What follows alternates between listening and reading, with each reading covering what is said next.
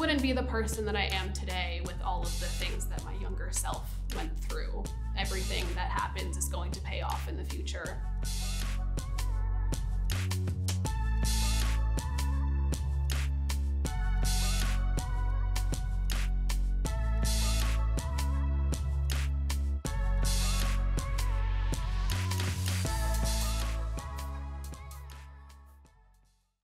Name is Jack Farzan. I use she, they pronouns, and I'm a site reliability engineer at Adobe on the Content Authenticity Initiative. I'm the person that um, deploys web servers and databases. I automate um, a lot of like internal processes.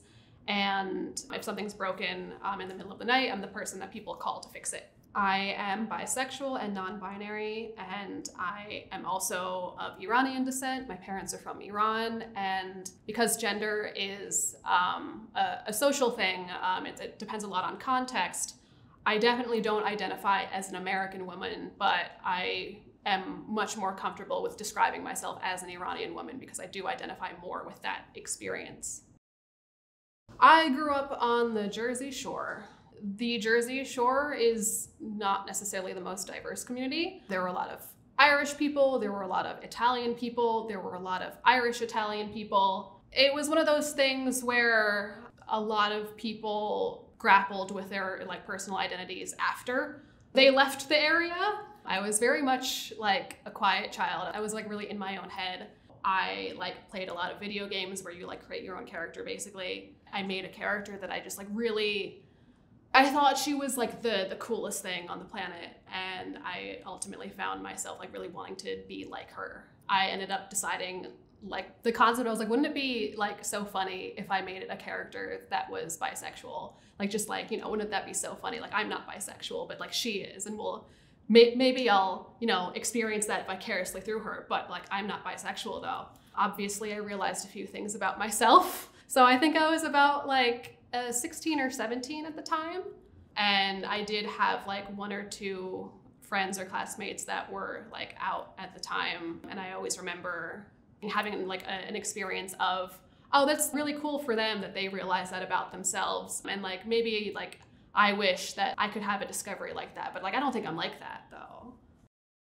I was always into video games and growing up I was actually really into like creating visual art, like I did digital painting. But I didn't necessarily come from the most financially stable background, and I you don't necessarily become an artist to get rich or whatever. Not that that's what I wanted, but for me, I thought, oh, well, if I want to work in games, then they always need programmers. That's a good way to approach that. I decided I wanted to get a degree in computer science, and I decided I wanted to also study art on the side if I could do that for my current role, my experience as an artist does not necessarily play in my day to day life. However, there are plenty of roles in tech that do encourage and support that sort of background. Things like user experience design, things like graphic design, many things that I am not aware of, I'm sure. But I often also like to tell people that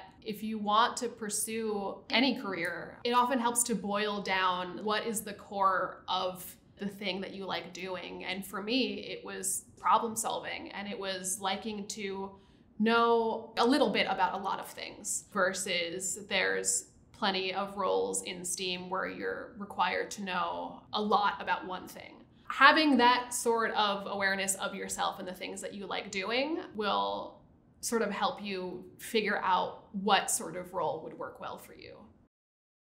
I sort of had a really traditional education background. I did five years at a university, and while I was there, I got a bachelor's degree in computer science. I got a bachelor's degree in visual art. I got a master's degree in computer science, and I did two years of internships. I guess when I put it like that, it's less traditional. But I was planning on getting the most bang for my buck out of my time there, so to speak all of the additional knowledge that I needed to know, I was able to pick up on the job. I sort of like tripped and fell into this particular niche because you know when you're going into college like when you're a high school you don't necessarily think like oh i want to fix other people's like broken code all the time but as i grew older, like as I started like progressing through college, where I just started with a regular computer science degree and they don't really make you focus on anything until later, I realized that, you know, the gaming industry is not necessarily stable. They deal with a lot of layoffs, they deal with a lot of like insane hours. Exceptionally hard to be someone that's not a man in that industry. So I started thinking, like, I don't know if this is the best thing to do.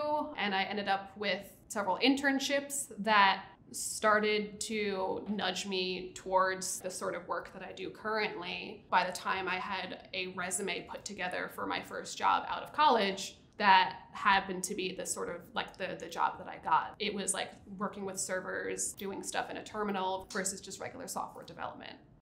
When I was in university, I was one of like five non men in my computer science class. Um, so I didn't really have great expectations of what I would deal with coming out the other end, but I was really stubborn. So I was like determined. I was like, this is what I want to do. I'm going to carve out a space for myself if there isn't already one. Before I was non binary, I was a tomboy. I always had like more more guy friends than girlfriends. I felt more comfortable around masculine people. So I think for me, going into a man dominated class like that, I was like, this is easy. Like, this is what I grew up with. Once I decide that I want to do something, I just pursue that thing. I was also at an engineering school. So if I really wanted to pivot that badly, I sort of would have to reconsider a whole lot more things. So I think I basically trapped myself a little bit. I was there and I had my goal in sights and I was going to accomplish it no matter what. I've had environments where people feel comfortable to make inappropriate jokes in my presence, like whether it's about women or whether it's about like other like trans coworkers. Thankfully, I'm not in those sorts of places anymore. But there are also lots of environments that are like very welcoming. In my current role, I do feel very comfortable being open about who I am. And I'm also much more comfortable with calling out behavior that is not okay a lot of times you're just afraid like if i say something am i going to be unemployed tomorrow? Workplaces are very hierarchical. So a lot of times if it's like your direct superior or like your adjacent direct superior that says something off color it's not a great position to be in because you like no matter what you're going to lose a lot of people don't necessarily know any better, unfortunately. And a lot of environments, you have to sort of just like approach someone and say, like, hey, like maybe you didn't necessarily mean this thing in this way, but that's actually like a hurtful view to have. And you should at least consider like thinking before you say something like that you have to like approach someone in like a respectful manner. You can't necessarily call them out like in the middle of a room. You got also need to wait for yourself to like calm down a little bit first because there's been a lot of times where like someone has said something and i you know felt the blood rush to my head. And i was like okay i definitely need to talk to them about this but maybe not right this second because i'm just gonna scream and that's not good for anyone. But then there's also things where someone will say something where like you might have to kind of just like swallow it and decide that like okay this is something that i'm going to know that this person thinks and i'm just going to have to treat them differently because of it. My current workplace i do feel very comfortable with it. It is a very large company so there like are plenty of other lgbt people um, in the area. At previous roles, I've had like really bad experiences where I was basically sexually harassed. Hopefully, no one has to deal with that in their everyday life. But then there's also been like totally neutral experiences, microaggressions, where people will say, like, oh, you use like she, they, like, what does that mean? Like, why do you do that? Without context, it's a harmless question, but um, in the context of a workplace, it's like I don't necessarily want to be the one fielding these questions for everyone. A lot of it is about who you know. Cishet white men know a lot of cishet white men. The average cis like het white male employee has a leg up on any other candidate that's not one of those things. Because so many of those men are used to being in these situations, they have family and like in, in these sorts of careers and things. There's just a lot of things that a minority candidate would not even think about, like how to negotiate a salary, how to write a resume, things like how to write an email. I remember I've given people advice on like how to write like a, a strongly worded follow-up email because these things are not things that are at the front of people's head. Like you don't get taught that in a college class.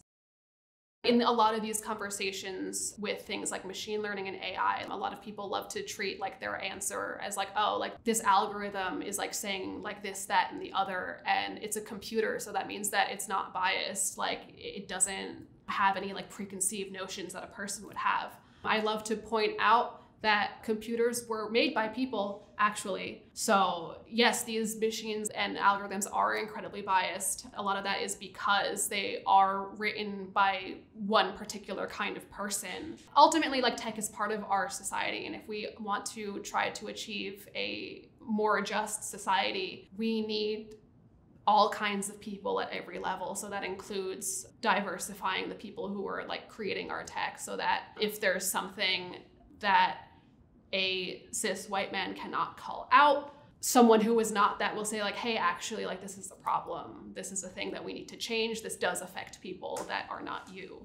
Other than what i think is the obvious of like people of like different backgrounds races gender identities sexualities what is extremely important in any diverse environment is the ability to receive criticism and like self-reflect on what that criticism was like not stuff like oh you're like your all your work is terrible whatever but if you say or do something that can end up hurting someone instead of immediately lashing out and being like oh you're calling me a racist or a sexist and i'm just not that you need to understand that we all say things that can be hurtful to a given group of people or an individual person. That's not necessarily the problem. The problem is not being able to reckon with the fact that you could do a hurtful thing. And you just need to be able to say, like, okay, I see what you're saying. Let me try to correct this other than the minor task of everyone having to be more self aware of themselves. Workplaces need to put a lot of effort into seeking out diverse hires as like the, the first thing that they do the majority of people in tech right now are cishet white men. So because that's who they know, that's what they hire, that's what they feel comfortable with, that's who we're going to end up getting. So we need to say, okay, we don't want to only have these kinds of people because we've decided that we do want a diverse environment. We need to like reach out to to like HBCUs. We need to reach out to to like there's plenty of like working groups that are helping uh, minorities get hired in these environments. Um, we need to reach out to like there, there's plenty of like the groups online even for like if, for, for like for trans people for for lgbt people in general that are focused on getting hired in tech. We need to reach out to those people first. Not even because they're like definitely better or whatever but because they deserve um, as much of a chance as like the person that's just like in your your LinkedIn or whatever. I dream of a world where we stop reacting towards each other out of fear and out of hatred and thinking I don't understand you so I'm going to treat you like dirt under my feet ultimately like a, a, world that accepts people as they are um, and accepts them as human beings rather than as things to be profited off of. Ultimately, a world that is good for LGBT people is a world that will be good for all. I've learned a lot, I've been through a lot, I've made a lot of mistakes, I've made a lot of successes, but I have done all of this and gotten to where I am today without any real mentorship. I didn't really have anyone in my family that I could talk to. I didn't really have anyone in my university. I have like never had the boss for, uh, the same boss for more than one year and these are a lot of the sorts of roles that like a lot of people get mentorship from and I had to just sort of like figure everything out along the way. I am happy with my current place. I feel like I'm learning a lot and I'm growing a lot. So for the future, I don't have any sort of like technical goals, but my sort of career related goal that I have currently is to help as many people as possible in the queer and non-white communities uh, get the the roles that they deserve to at least like you know be able to make rent be able to give money to their families and friends i want the stability that i have for everyone in these communities that i care about If I want to give someone tips for negotiating a job offer, like those, that, that doesn't necessarily apply only to tech, that applies to everyone. So those are the, the sorts of skills that I want to make sure that people know about. The only thing that I would want to tell my younger self is to just keep going. I, I, said that I got went into this career because I was stubborn. So you got to be a little bit stubborn. Go into this thing convincing yourself that maybe I don't know what I'm doing, but neither does anyone else. And I just really have to act like I am the shit and other people will believe me.